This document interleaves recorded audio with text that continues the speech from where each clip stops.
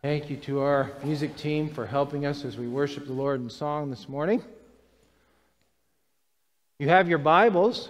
You can be looking at Genesis chapter 5. Genesis chapter 5. And if you are one of our regulars, you will not believe it, but we are going to do an entire chapter this morning. A whole chapter. I told you we were going to pick up the pace, and I wasn't kidding. Genesis chapter 5, there's an outline on the back of your bulletin if you'd like to use that to follow along this morning. Uh, I've entitled the message, Sticking Out Like a Sore Thumb. Sticking Out Like a Sore Thumb. Let's look at Genesis chapter 5, beginning with verse 1. I'll be reading this morning from the English. Created man, he made him in the likeness of God. Male and female, he created them and he blessed them and named them man when they were created.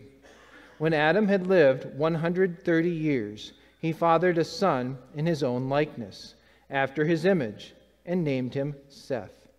The days of Adam after he fathered Seth were 800 years, and he had other sons and daughters. Thus, all the days that Adam lived were 930 years, and he died. When Seth had lived 105 years, he fathered Enosh. Seth lived after he fathered Enosh 807 years and had other sons and daughters. Thus all the days of Seth were 912 years, and he died. When Enosh had lived 90 years, he fathered Kenan. Enosh lived after he fathered Kenan 815 years and had other sons and daughters. Thus all the days of Enosh were 905 years, and he died.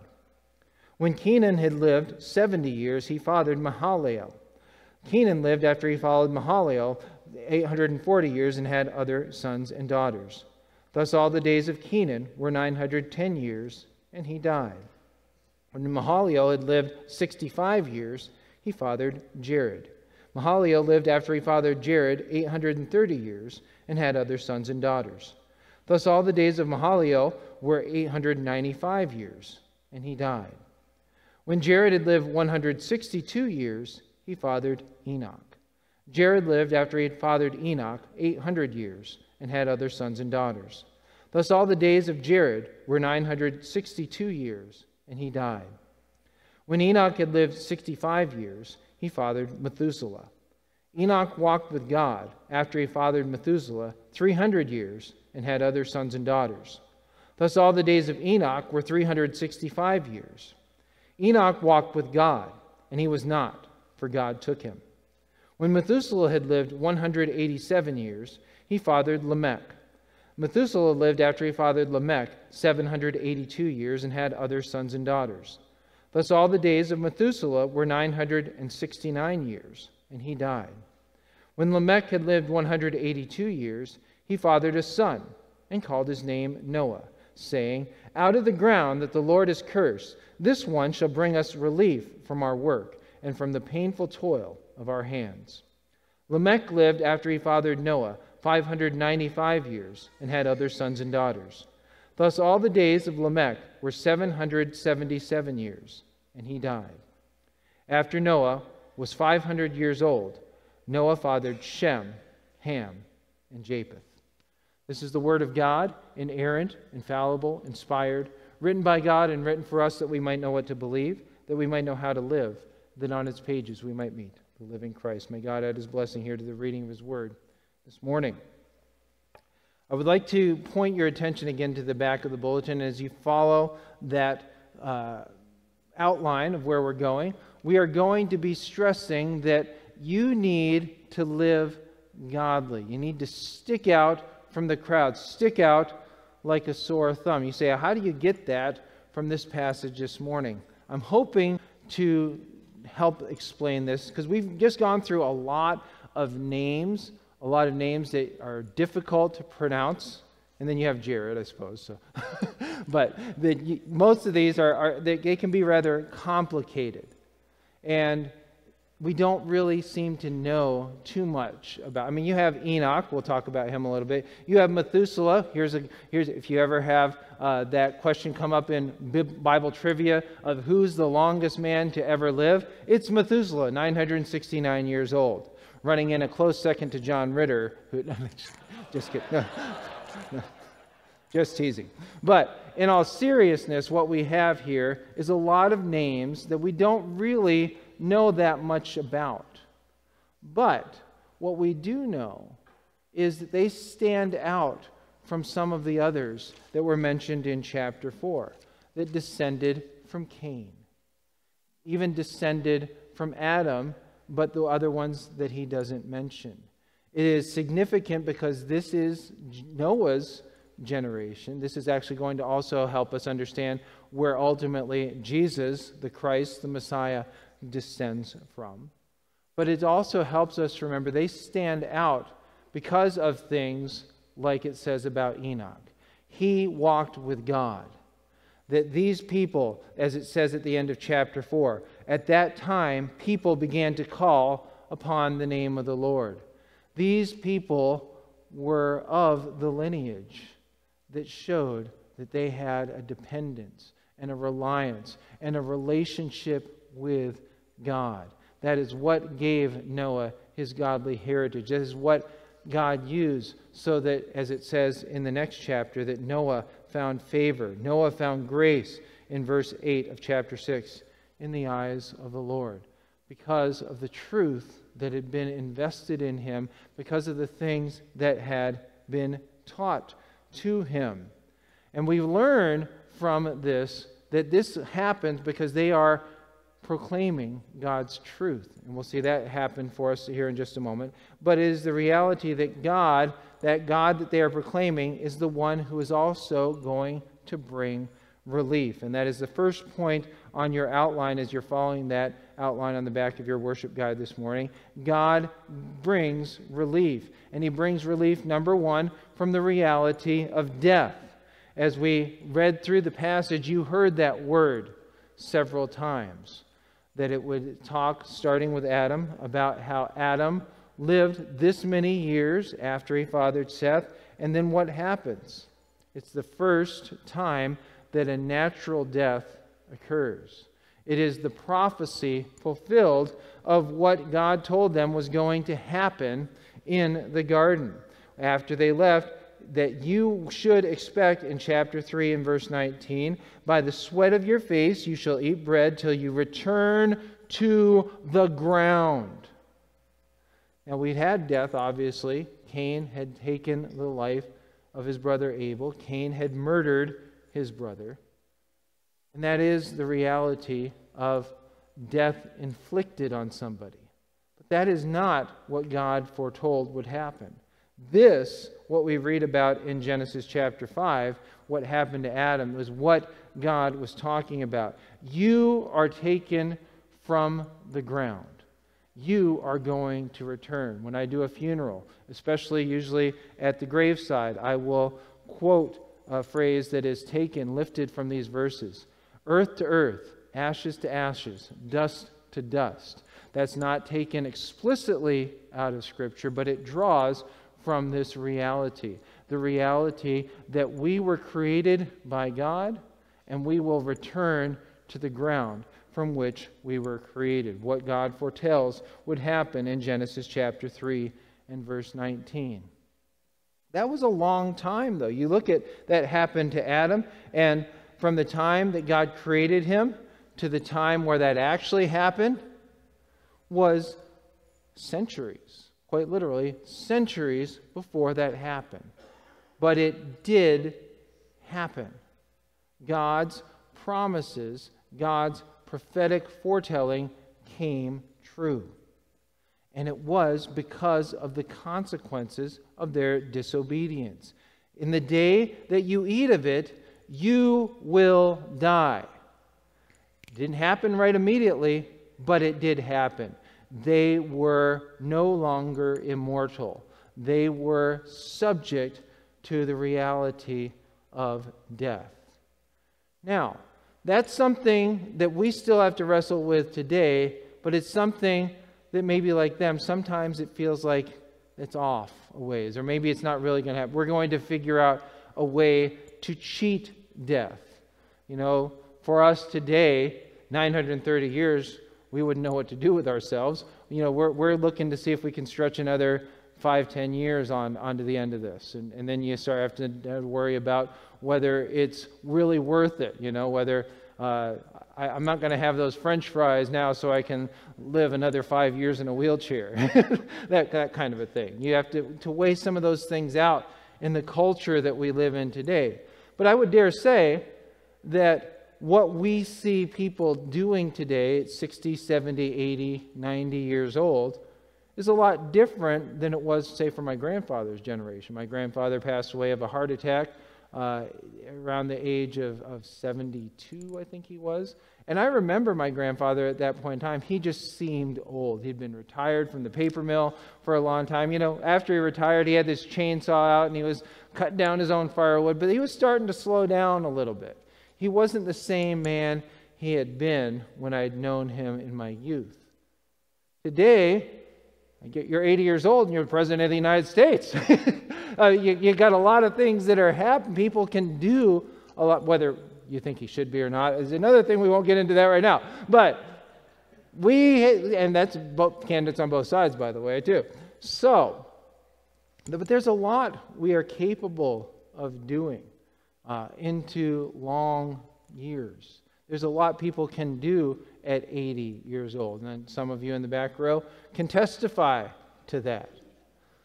But here's the reality as well we understand that there's coming a time where we won't be able to do what we used to do.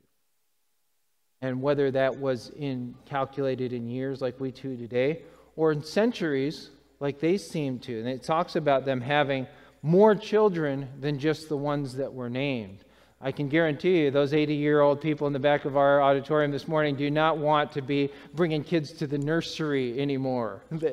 I was talking to my sister Janetta here this morning. She's, she's wrestling with the idea of retirement, but she's also wrestling with the possibility of taking another child into her home. And she's like, Pastor, I don't want to do that. it, it's part of some, it's not something that we want to do in our later years to take on the, the responsibility of a new life. Now, some of you have done that, and commendably so. And Janetta, you might end up having to do that, sister. And I know that you're willing, and that God will supply you the strength if if that is what He calls you to do. But it's not something we relish. But that's something they were able to do here. We were operating in this period of history under different parameters, different circumstances. There's different reasons. Dr. First could probably talk to you about some different theories about why uh, the quality of, of, physical life was different uh, back then. There's a canopy theory that happens, and maybe we'll talk a little bit more about that when we come to the flood.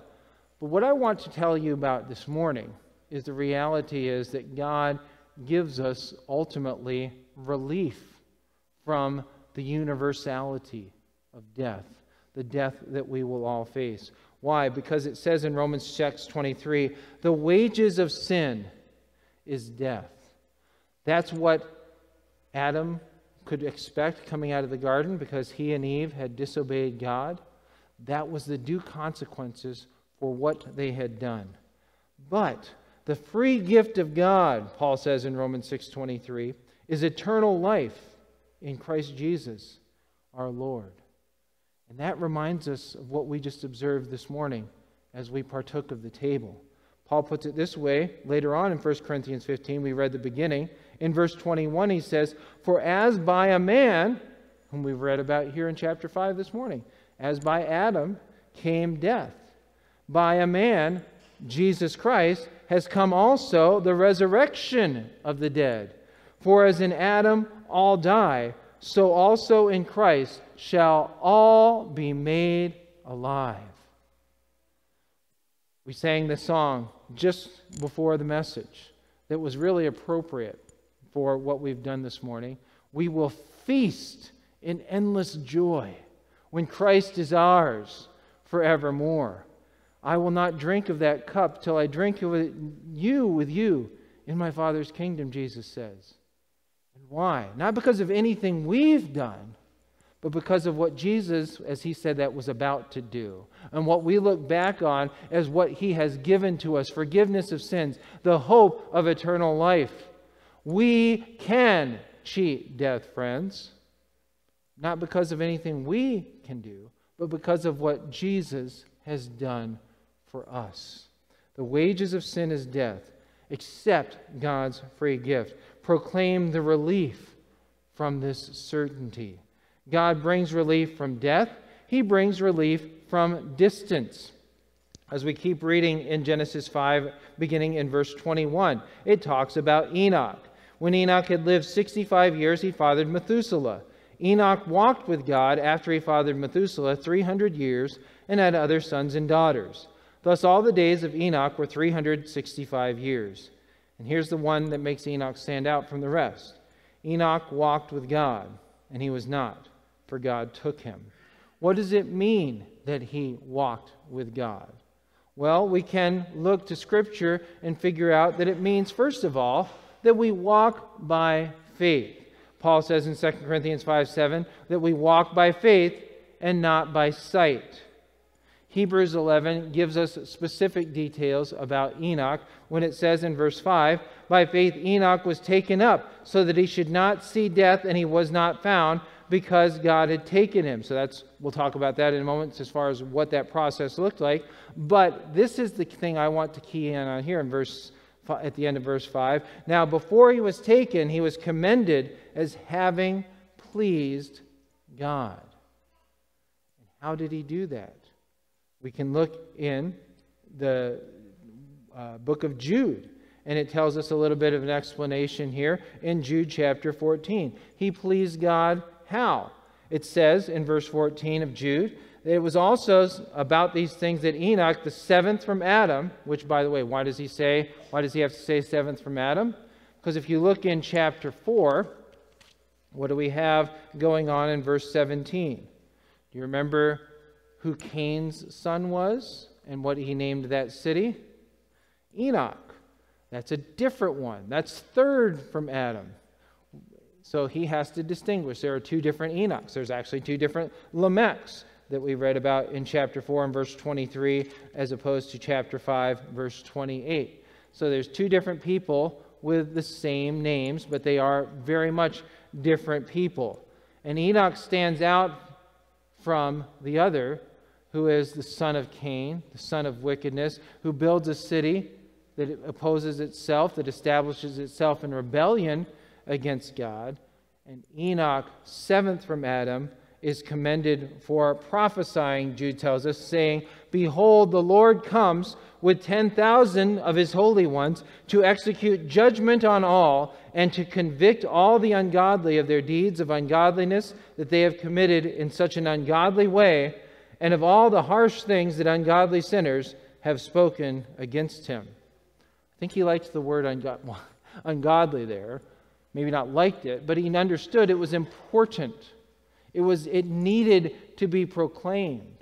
Not to condemn them, but to call them to understand what they had done and that there was a need to turn from it. There was a need to repent and look to God, look to the truth, find a way to get hope, to receive forgiveness. That is the reality that Enoch did, and that is why he is commended by the author of Hebrews as someone who pleased God. He pleased God because he spoke the truth, because he believed the truth. And so the author of Hebrews says in Hebrews 11:6, "Without faith it is impossible to please him, for whoever would draw near to God must believe that he exists and that he rewards those who seek him." Friends, that's what we need to do as well. We walk in faith, but we also walk in holiness. That we make sure that our lives line up with what God wants us to do, how God wants us to live. None of us are ever going to be perfect.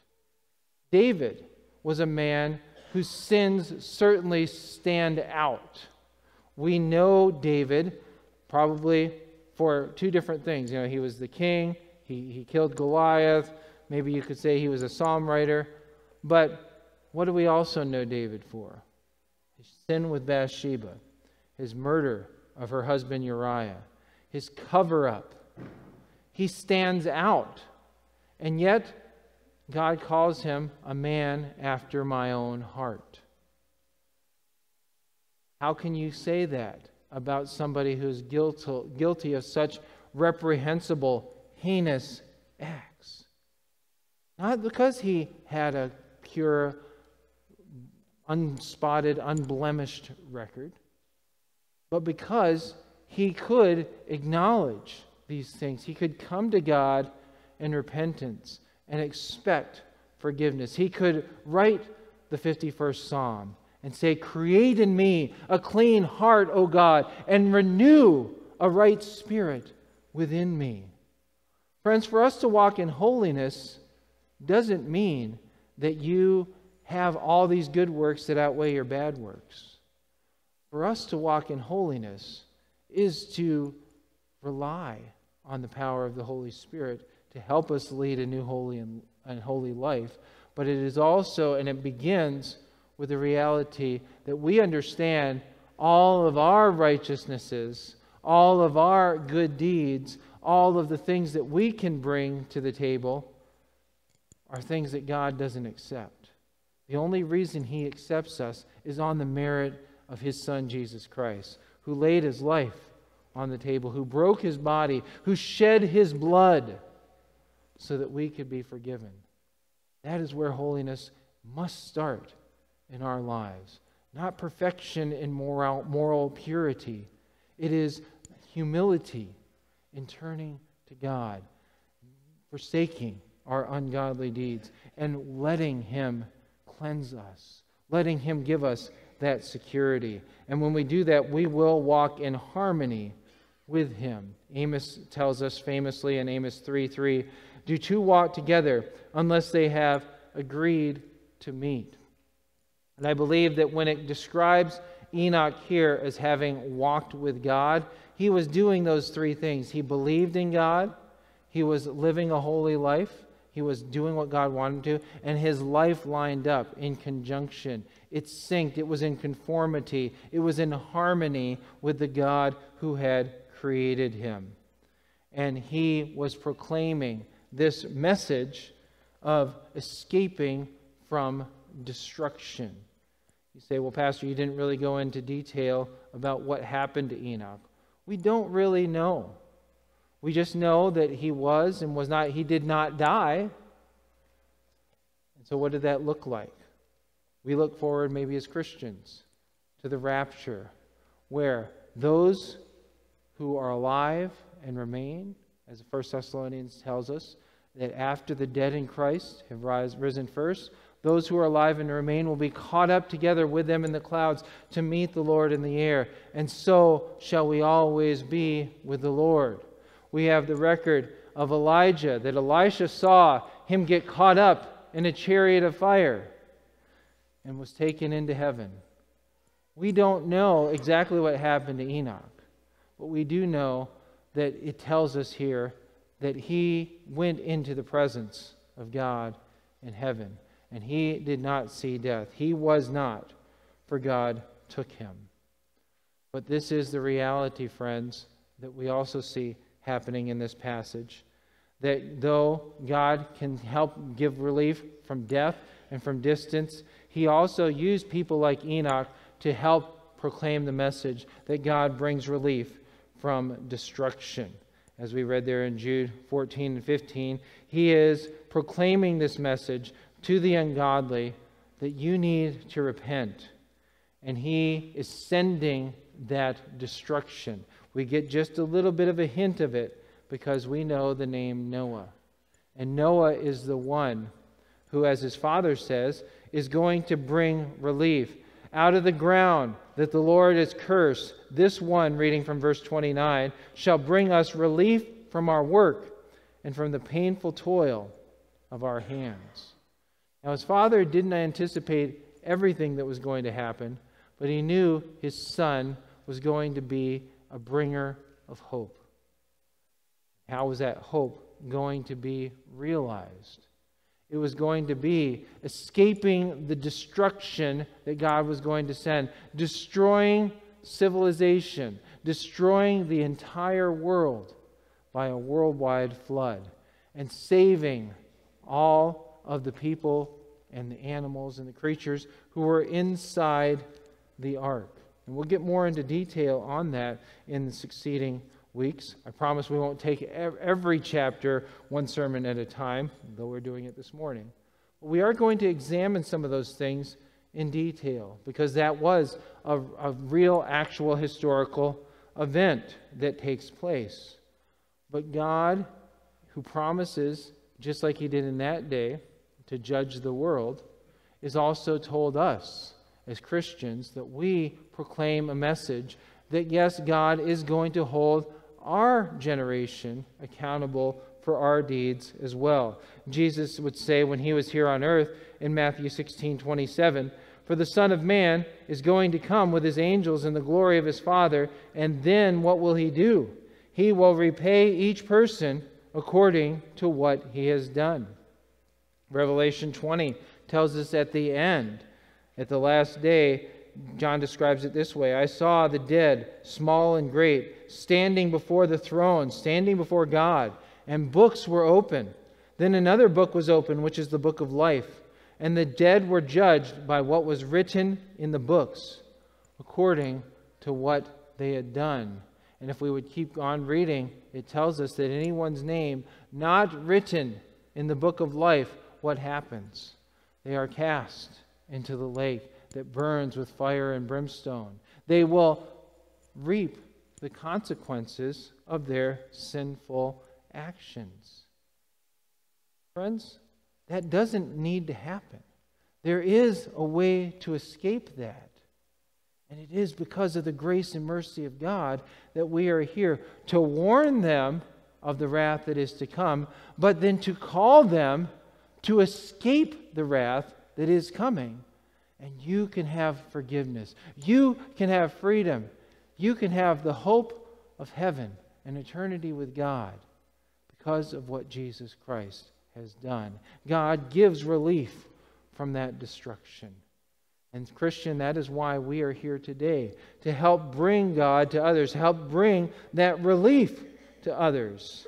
And that comes by conformity to Christ, by fitting in with who He is and not with everybody else around us. Just like these people here in chapter 5 stood out like sore thumbs from all the people who had put themselves in rebellion, who had angled themselves and, and, and created a culture where, as it will describe in the next chapter, every man does what is right in the sight of his own eyes. There is no moral compass, there is no moral ground that is visible there. So, Christians, we will also, if we are living in conformity to Christ, stand out from the wicked world around us. How are we going to conform to Christ? Just like Enoch did. We're going to live lives of faith. We're going to prioritize God's holiness in our lives. We're going to walk in harmony with Him. What does that look like for the Christian? Jesus would describe it this way in John 13 34. A new commandment I give to you that you love one another. Just as I have loved you, you also are to love one another. That's one of the reasons, friends, we have a local church. So that we can put God's love on display, not just for the love that we show to the community, though that is something we do, but it starts with the relationships we enjoy here with each other. And it is why it is so horrific and so distracting from the truth of the gospel when we have constant conflict, when we take potshots at each other or maybe at other local churches. Maybe you haven't noticed, Pastor John did it generally this morning, but I've been encouraging him during those pastoral prayers to single out local congregations. And so we'll pray for Calvary E Free. We'll pray for Christ's community. We'll pray for Autumn Ridge. We'll pray for people who are maybe different with us on some things, but in the essence and the nature of the gospel of Jesus Christ, we have agreement. We share unity. And we, friends, have to maintain that kind of a unity in our mindset. We have a loyalty here to each other. That is our primary mission, if you're a member of Calvary Baptist Church, to love first and foremost the other people of Calvary Baptist Church. But it doesn't, it doesn't authorize us to be hostile or competitive with another brother or sister who happens to go to a different church where they do things slightly differently if they are preaching the same truth. This is what we must do. We conform to the image of Christ and we love each other. And we can't love everybody the same way. I can't love my church, even you that God has appointed me to place uh, over and serve. I can't love you the same way I love my wife, the same way I love my family. I'm not called to do that in the same way. Now, I am called to love you, but if Andrew says, hey, you gave Reggie an allowance, why don't I get an allowance? Well, Andrew, I'm sorry. it doesn't work that way. I'll try to be generous, I'll try to give to you, but I don't have the same responsibility to Andrew or to John or to Sam that I have to Reggie and Caleb and Hayden and Emma. It just that's that's the way that it is. I love Jennifer and I love Janetta, but I don't love Janetta the same way I love Jennifer. And I hope you're not offended, sister, but that, that's just the way it works. So, we can say in that same breath, we love people at Calvary Free. We love people at Cornerstone. But, friends, we have a primary responsibility to the men and women, the boys and girls of this congregation first. And when we do that and we do that well, we are showing the world what it means to be followers of Jesus Christ, the benefits that they can have. Pastor John mentioned during the announcements, and we talked about at the end of last week. We're going to have a rather unpleasant meeting, I suppose. We're going to be talking about some hard things next Sunday night. But that's because we love the people involved, because we care about the direction of their soul. And that's because we care that we have to do that. That's what love looks like. And you know that as a parent. Loving your children doesn't always mean you get to pat them on the head and commend them. Sometimes loving them means you have to make the hard decisions, you have to call them out. Conforming to Christ means that we have to do that as well. We conform to Christ, we continue our connection with Him. And so, what do we see from this in chapter 5 and verse 3? Adam has a son who he's created in the image of God, and he is in the likeness of God. But then it says he has a son after his own likeness, after his own image, and he names him Seth. But I believe here that just as Adam is connected to the image of God, so is he also helping him understand that the sons who came after him followed in a godly lineage, a godly awareness. And so, as Christians, as we conform to Christ, we pass those truths on. What Paul would tell to Timothy in 2 Timothy 2 2 and what you have heard from me in the presence of many witnesses, entrust to faithful men who will be able to teach others also. And then, as he says to the Corinthians, be imitators of me as I am of Christ. Just like Enoch does as well, we must count on his coming. We must anticipate that. Take the long view. The author of Hebrews says this in Hebrews 9:28. So Christ, having been offered once to bear the sins of many, like we remembered here at the communion table, will appear a second time, not to deal with sin, but to save those who are eagerly waiting for him. There's a good rapture verse there for us, George. Right? He's not coming to judge, he's coming first to bring Christians home to be with him. That we are not, because God is going to take us, perhaps just like he took Enoch. That's the reality, friends. The reality is God is coming to judge, but before he does that, he's coming to give hope. He's coming to give joy.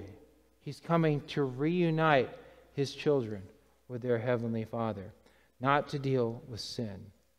So 1 Corinthians 3:13, so that he may establish your hearts blameless in holiness before our God and Father at the coming of our Lord Jesus with all his saints. Friend, stand out from the crowd. Be godly. Show love. Proclaim Jesus Christ to the world around you. This is how Paul would put it at the conclusion or at the beginning of Romans chapter 12. Do not be conformed to this world, but be transformed by the renewal of your mind, that by testing you may discern what is the will of God, what is good, what is acceptable, and what is perfect. Thank you, Father, for giving us your word, giving us these names, giving us this heritage that we can see, and remind us, Lord, that we too, like they did, need to stand out from the world around us, the world that has oriented itself against you. Help us, Lord, to be faithful followers, people who love Jesus Christ, as the children reminded us at the beginning of the service this morning, with all our heart, with all our soul, and with all our might. As we pray in Jesus' name.